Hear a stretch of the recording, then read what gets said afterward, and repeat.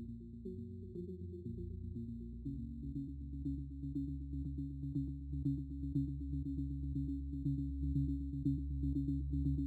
Esta es la última parte de la actividad 7 de vuestro libro de texto en la que nos pregunta la distancia que recorre la luz en un año en kilómetros. Como habéis visto, para que lo entendáis más fácilmente, he realizado primero las dos conversiones en las que hay unidades más cercanas. En este caso, nosotros vamos a partir de año luz como unidad inicial y la vamos a tener que pasar usando factores de conversión a kilómetros en distintos pasos. Lo voy a hacer especificando cada uno de los pasos, aunque sé que muchos de ellos son sencillos y se pueden suponer, como por ejemplo empezar ya con los 365 días luz que tiene cada año. Pero como la idea es que practiquemos la conversión de unidades mediante factores de conversión, voy a especificarlo entero. Empezamos con el año luz, un año luz, distancia inicial, se multiplica por una relación conocida y lo vamos a pasar a días luz. En un año luz hay 365 días luz. Entonces, unidad inicial, año luz va en el denominador y lo vamos a pasar a día luz que va en el numerador. Un año luz, como sabemos,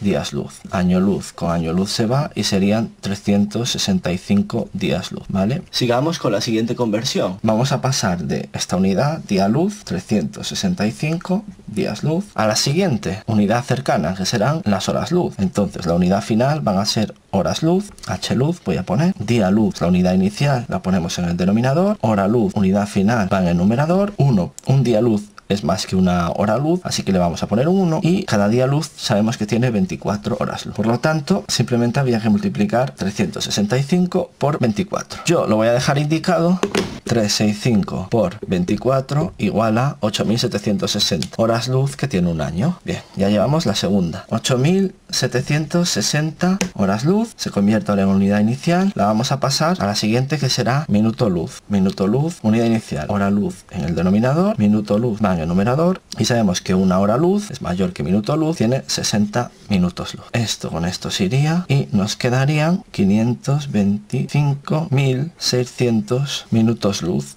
En solo dos pasos más vamos a obtener ya los kilómetros. Entonces, estos 525.600 minutos luz, 1000 luz, los transformaremos ahora en segundo luz. Lo voy a dejar aquí porque creo que va a ser un número muy grande. Y seguimos minuto luz. Tenemos que ver que es la unidad inicial, va en el denominador. Unidad final, segundo luz, va en el numerador. Un minuto es más que un segundo y cada minuto luz tiene 60 segundos. Minuto luz y minuto luz se simplifica y habría que multiplicar esto por 60 y nos da y nos da esta enorme cifra 31.536.000 segundos luz. Por último ya nos queda solamente pasarlos a kilómetros. Conociendo que la velocidad de la luz son 300.000 kilómetros por segundo sabemos que en cada segundo a la velocidad de la luz segundo luz se recorren 300.000 kilómetros. Esta unidad ahora es nuestra unidad inicial multiplicada por, las, por la relación conocida nos va a dar igual a kilómetros. Segundo luz unidad inicial acordaos va en el denominador. Y en el numerador van los kilómetros. Un segundo luz es mayor que un kilómetro y cada,